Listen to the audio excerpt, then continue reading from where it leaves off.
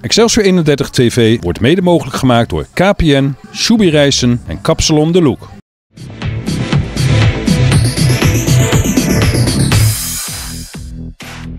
Dit is het Excelsior 31 TV Weekjournaal met aandacht voor de winteractiviteiten, de vraag van de week en de speler van de maand. Komende winter is er weer genoeg te doen bij Excelsior 31. Om alle activiteiten op een rijtje te zetten is het een goed moment voor een gesprek met Arjan Dennekamp. Uh, nou, als eerste, we lopen nu in november, uh, gaan we richting Sinterklaas. Uh, we gaan 30 november voor de kleinste jeugd, dus de JO9, JO8 en de NK is het dit jaar niet, EK en WK. Gaan we het grote Sinterklaasfeest organiseren. En dan ja, spannende avond voor de kleinste kinderen. En als Sinterklaas komt, hoe ziet die avond er dan uit? Um, ja, weten we natuurlijk niet. Hè. Dat ligt aan Sinterklaas zelf. Maar we gaan ervan uit dat wij uh, die kleinste weer in twee groepen gaan verdelen. En uh, goed, die mogen allemaal naar Sinterklaas toe. Die heeft uh, met zijn Pieter goed opgelet wat zij eh, dit jaar allemaal gedaan hebben. Ja, en dat, ehm, ja, die kinderen mogen naar voren en die krijgen een mooi cadeautje als ze klaar zijn. Uh, ja, Adjan, dan is er ook nog uh, het FIFA-toernooi. Dat hebben jullie ook sinds een tijdje georganiseerd. Dat doen jullie dit jaar weer. Hoe ziet dat eruit? Ja, volgens mij doen we dit jaar, ik dacht vijfde of zesde keer alweer. Uh, 22 december, dus de zaterdag voor kerst, hebben we hier het FIFA 19 toernooi. Georganiseerd door de, dezelfde partner waar we het altijd mee doen. Uh, nou, ik verwacht ook dit jaar dat we weer extreem veel inschrijvingen gaan hebben. Er zullen twee toernooien plaats gaan vinden. Eentje ochtends voor de, de kleinere jeugd, meestal tot ongeveer de D. En smiddags voor de grotere jeugd, dus vanaf D tot en met de senioren. En als je het vergelijkt met afgelopen jaar, wat is er dan anders dit jaar? Nou, we zijn wel bezig met een verrassing. We willen heel graag een professionele e-sporter naar reis inhalen. Dat de, de, onze beste e-sporters ook tegen hun een wedstrijd kunnen spelen. En als leuke noot is uh, dat Excelsior 31 ook op zoek is naar hun eigen e-sporter. net zoals de BVO's allemaal doen. En de winnaar van het toernooi het, over de hele dag, die wordt de officiële e-sporter van Excelsior 31. Dat is een mooie prijs. Dat is zeker een mooie prijs. En dat is ook een uh, initiatief vanuit de KNVB. Uh, die hebben ons benaderd. Goed, we hadden ons eigen FIFA-toernooi al. Uh, en die vroegen eigenlijk aan alle clubs, gerenommeerde clubs, of die hun eigen e-sporter aan wilden gaan leveren. Voor ja, waarschijnlijk ook een mooi toernooi in de toekomst. Ja, goed, dan is dit een hele mooie gelegenheid. Dan hebben we ook nog het zaalvoetbaltoernooi waar veel jeugd aan meedoet. dat doen jullie eigenlijk al heel lang, hè? Ja, dat is, nou, volgens mij voordat ik geboren ben, uh, deden we dat al. Zelf vroeger ook als, uh, als klein kindje graag aan meegedaan. En uh, ja, dat is een traditie die we absoluut in ere willen gaan houden. Ik denk dat we dit jaar wel uniek zijn dat we voor het eerst in januari een toernooi organiseren. Komt puur door de, ja, hoe kerst valt dit jaar. 28 december is het eerste mixzaaltoernooi voor de kleinere jeugd. S ochtends beginnen we met de JO9, JO8 en de JO11 9 tot en met, ja, ik dacht 15. Uiteraard ook de meidenteams die dan uh, welkom zijn. En smiddags doen we met de selectieteams tot en met JO8. JO11-8. Um, waar moeten de mensen op letten als ze zich willen opgeven voor deze uh, activiteiten?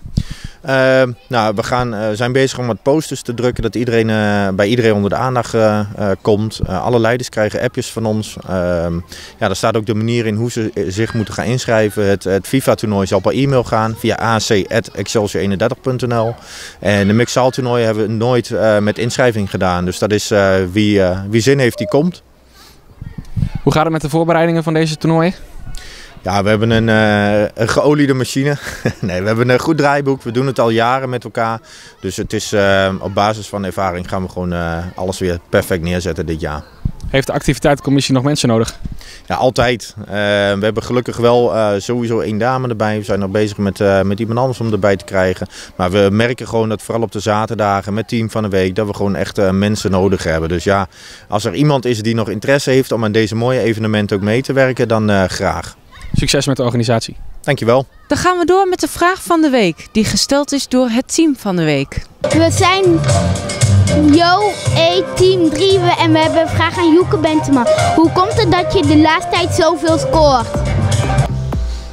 Ja jongens, uh, ja, bijzonder veel voor het uh, begin van de competitie. Ja, ja, ik heb het al vaker gezegd de laatste paar weken. Ja, soms heb je periodes, daar vallen ze gewoon. En uh, er zal vast nog weer een periode komen dat ze, dat ze niet vallen. En uh, voor nu geniet ik ervan.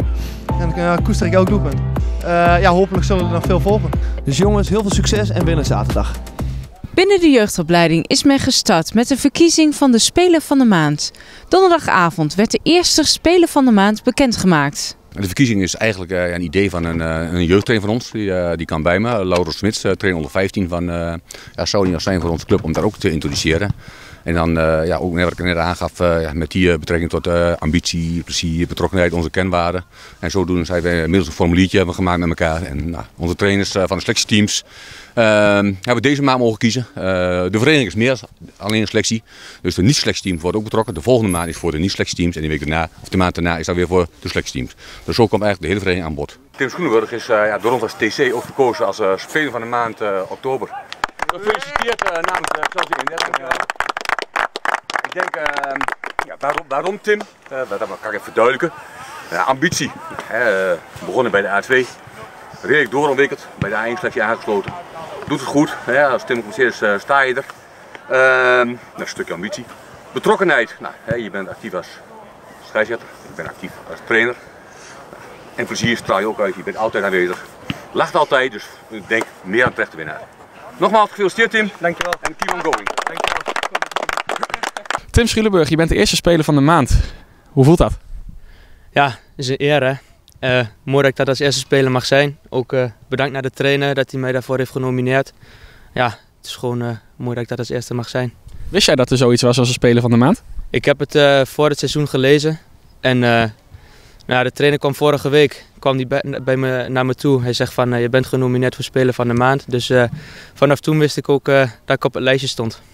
Dus je zat de hele week in spanning. Je dacht van ik hou het niet meer, ik moet nu ook speler van de maand worden. Ja, het was een beetje uh, billen knijpen natuurlijk. Maar uh, nee, grapje. Maar uh, ja, mooi dat ik het ben geworden.